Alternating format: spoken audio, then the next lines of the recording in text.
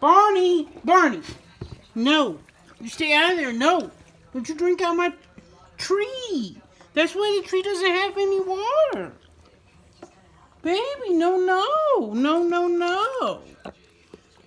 He doesn't seem to care. He's just kind of drinking right out of the water. What do you think, Herbie? Herbie. Did we wake you up? I'm sorry. He was taking his mid-morning nap. Barney, that's really impolite. Mama was right here. She was telling you not to do it.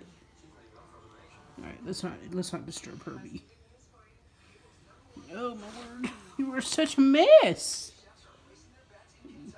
I don't think we disturbed Webster either. You're just a mess.